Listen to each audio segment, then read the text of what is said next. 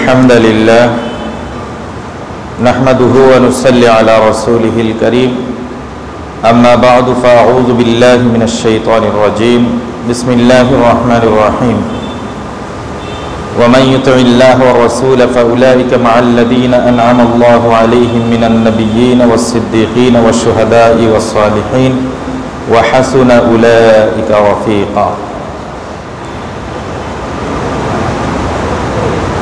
বহুল জনগোষ্ঠীর আবাসস্থল,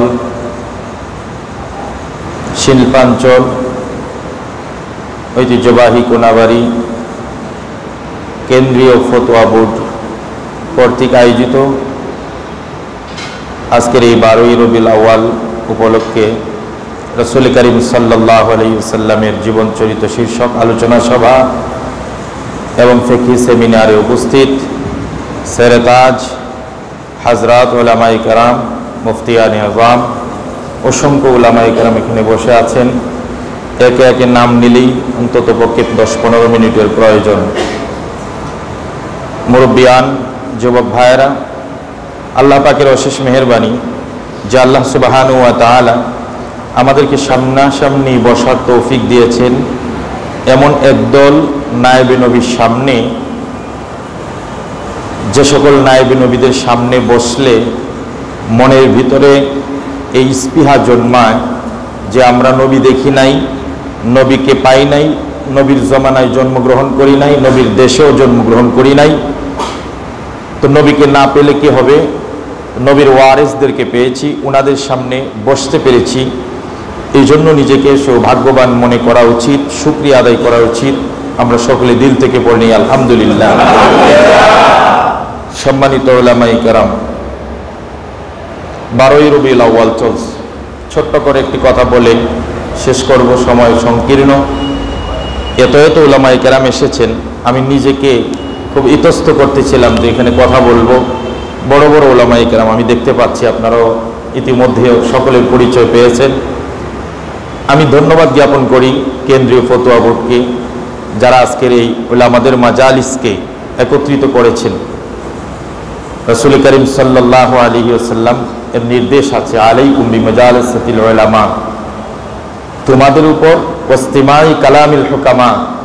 আলিমুল আমাদের মজলিসে বসা তোমাদের উপর আবশ্যক আবশ্যক এবং এদের কথা শোনা আবশ্যক। আলহামদুলিল্লাহ বলুন সম্মানিত ওলামাই কেরাম, বারোই রবিল আউ্য়াল আসছে, যাচ্ছে। সারাদিন কি হচ্ছে, না হচ্ছে, আমরা নেটে ফেসবুকে ইউটিউবে বিভিন্ন মাধ্যমে দেখেছি টিভিতে দেখেছি। আমাদের দেশে বা পাক ভারত উপমহাদেশে যা হচ্ছে বারোই রবিল আউ্য়াল সম্পর্কে বা তাকে উদ্দেশ্য করে, সেটা ইসলামের কিছুতেই কামনা বাসনা নয়, কাম্য নয়। আমরা কেমন যেন ইসলামটাকে এমনভাবে আনুষ্ঠানিকতার ধর্ম হিসাবে গ্রহণ করতেছি, মনে হচ্ছে বিধর্মীরা যেমন ইসলামকে কুক্ষিকৃত করে রাখে নির্দিষ্ট কিছু স্থানে এবং নির্দিষ্ট কিছু সময়ে তাদের গির্জা, তাদের গোরদ্বারা, তাদের সিনাগো, তাদের মন্দির, এই সমস্ত উপাসনালয় এই বিধর্মীদের ধর্মটা কুক্ষিগত, সীমাবদ্ধ। ঠিক অনুরূপভাবে তাদের ধর্মটাও নির্দিষ্ট দিনের সাথে সম্পৃক্ত।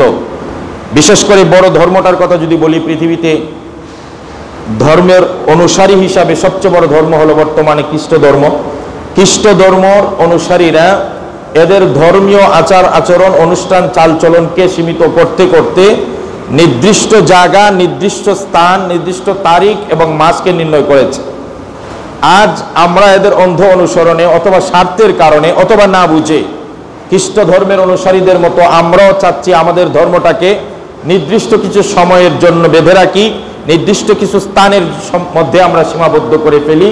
আমাদের আচার আচরণ, আমাদের চালচলন ব্যক্তি জীবন, ব্যবসায়িক জীবন, চাকরি জীবন, আমাদের ফ্যামিলিগত জীবন, আমাদের পারিবারিক জীবন। আমরা কোনো জীবনেই ইসলামকে আমরা সেখানে প্রেজেন্টেশন করব না। আমরা ইসলামকে রাখব মসজিদের ভিতরে, আমরা ইসলামকে রাখব শুধু রবিউল আউ্বালে ইসলামকে রাখব শুধু সবাই বরাতে।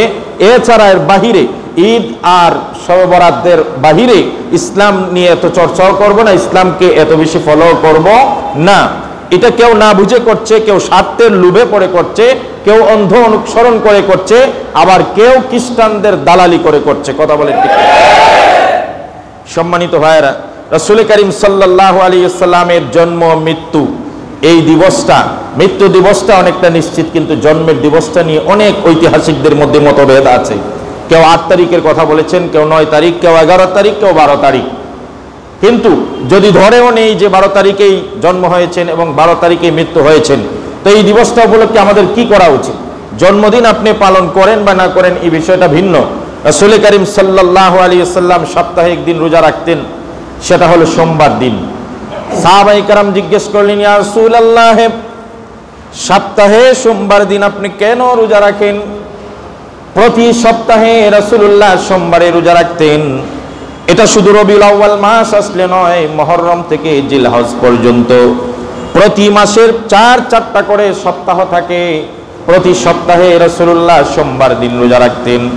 সাহাবাই কারাম প্রশ্ন করলেন, ইয়া রসুল আল্লাহ এই সোমবার দিন আপনি রোজা রাখেন কেন?